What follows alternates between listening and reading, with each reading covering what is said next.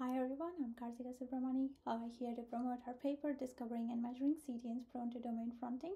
Um, this is a collaborative work between me and my colleague from Georgia Institute of Technology and University of Georgia.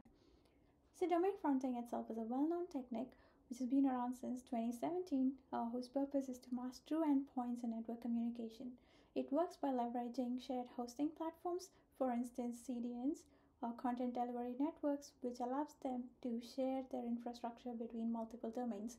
So, from a network administrator point of view, or while they're monitoring the communications, the communications would appear to go to a specific domain, whereas in the background, the communication actually the endpoint is a different domain which is hidden from the network administrators.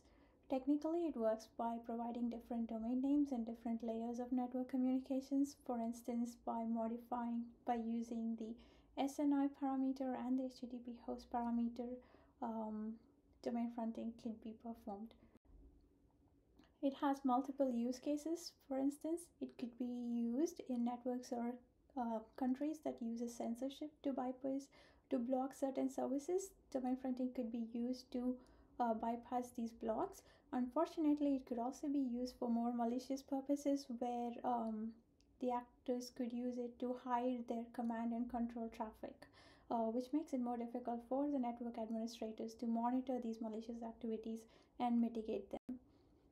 The motivation for our work stems from investigating the extent of domain fronting in the wild, despite existing mitigation measures that are taken by popular services such as Google, Amazon, Microsoft.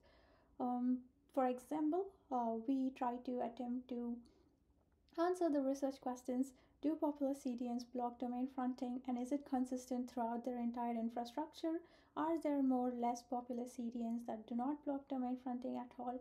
And in case of these CDNs, are there any, do they serve any popular legitimate domains that can be abused as front domains?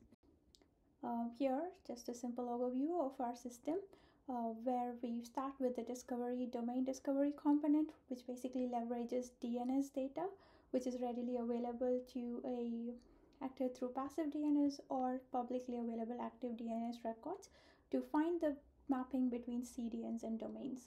So unlike previous works where you'll have to register uh, manually register new domains with CDNs to test for domain fronting. We use the existing customer's domain, we gather that information to perform these tests.